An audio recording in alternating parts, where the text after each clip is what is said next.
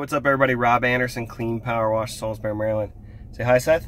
Dory. Doy. And then Will, say hi.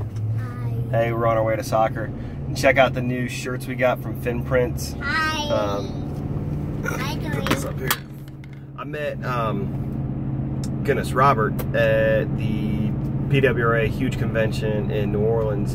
Um, and he's just rocking some awesome shirts and everything. And wanted to go with my overall theme, which is Maryland Pride, um, which obviously this is just ridiculous. I love it.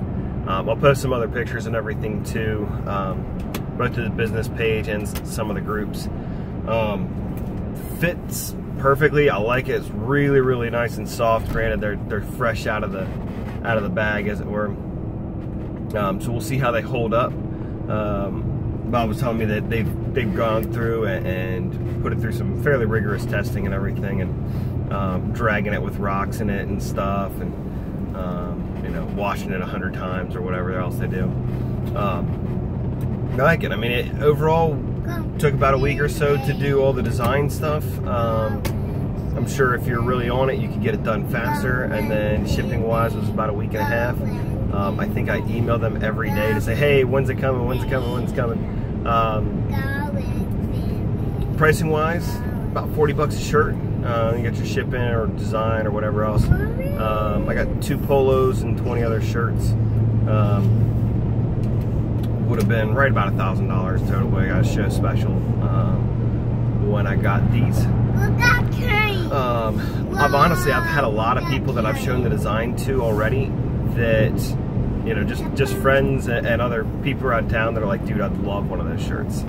Um, so we'll see how everything holds up, works out and all, and um, I may end up trying to do a bigger order um, and then, quite frankly, giving some of these away with as much um, popularity as all the Maryland Pride stuff. And honestly, if a customer asks me for a shirt, um, it'd almost be foolish not to give it to them.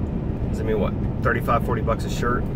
Um, most people are spending, you know, maybe a little bit more, a little bit less on that per job, you know, to, to get a customer.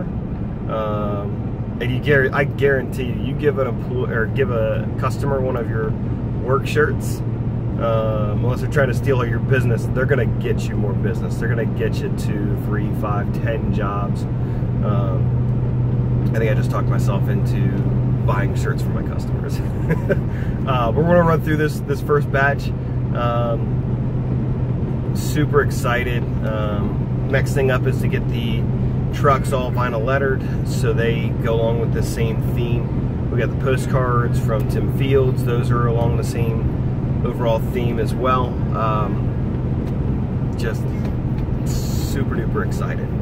Um, I'll show you the backs of these, um, some of the pictures and whatnot.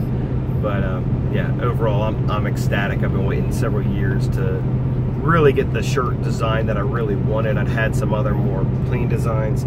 It's even got like a little bit of shadowing on the sides um, for the um, outline and everything with Maryland flags. So again, super duper excited. So have a great day, guys.